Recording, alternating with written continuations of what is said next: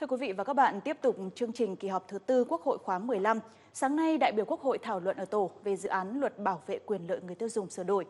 Các đại biểu đã nhấn mạnh, việc xây dựng dự án luật là rất cần thiết, không chỉ nhằm khắc phục được những tồn tại bất cập đặt ra trong thực tiễn, mà còn thực hiện chủ trương của Đảng và Nhà nước về hoàn thiện thể chế, về bảo vệ quyền lợi của người tiêu dùng, góp phần nâng cao đời sống của nhân dân và thúc đẩy phát triển kinh tế, văn hóa, xã hội của đất nước. Vấn đề bảo vệ quyền lợi người tiêu dùng yếu thế như thế nào là một trong nhiều vấn đề được các đại biểu quan tâm và cho ý kiến.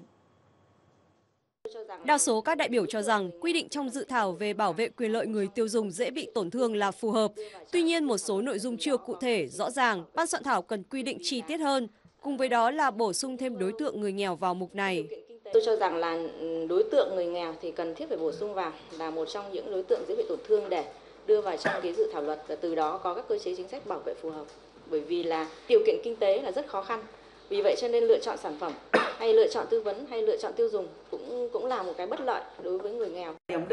cái người tổn người dễ bị tổn thương là rất là lủng củng. Người dân tộc thiểu số phải người sống ở vùng đồng bào dân tộc thiểu số và miền núi, hải đảo, vùng có điều kiện kinh tế xã hội khó khăn, vùng có điều kiện kinh tế khó khăn vân theo quy định của pháp luật của dân tộc. Thế như vậy cái, cái cái cách viết này thì nó rất là không ổn. Thì tôi đề nghị là giả soát lại cái điều này.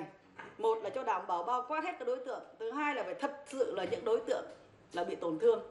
Tránh cái tình trạng mà cái quy định nó chung chung đề nghị là bổ sung một đối tượng nữa đó là người thuộc hộ nghèo người mù chữ vào các cái đối tượng dễ bị tổn thương một số đại biểu đề nghị nhà nước cần bổ sung chính sách để bảo vệ người tiêu dùng dễ bị tổn thương, đồng thời đề nghị cần áp dụng cơ chế khiếu nại phù hợp cho đối tượng này. Qua nghiên cứu giả soát thì cho thấy luật khiếu nại, luật thương mại và các luật hiện hành khác chưa có quy định cụ thể về cơ chế khiếu nại giải quyết tranh chấp phù hợp với yếu tố dễ bị tổn thương của người tiêu dùng. Vì vậy, tôi đề nghị bổ sung thêm nội dung quy định rõ về cơ chế khiếu nại giải quyết tranh chấp phù hợp với yếu tố dễ bị tổn thương của người tiêu dùng và bổ sung quy định đầy đủ cụ thể về việc kiến nghị tố cáo và giải quyết kiến nghị tố cáo được áp dụng cơ chế phù hợp với yếu tố dễ bị tổn thương của người tiêu dùng trong dự thảo luật này. Nguyên tắc và chính sách của nhà nước về bảo vệ người tiêu dùng yếu thế dễ bị tổn thương. Vì đây là cái nhóm người tiêu dùng hiện vẫn còn khá đông thiếu kiến thức và thông tin về thị trường dễ bị lường gạt lừa đảo trong mua bán hoặc sử dụng hàng hóa dịch vụ cho mục đích tiêu dùng sinh hoạt của cá nhân gia đình nhằm phục vụ với nội dung quy định tại điều 7 bảo vệ quyền lợi người tiêu dùng dễ bị tổn thương trong cái dự án này.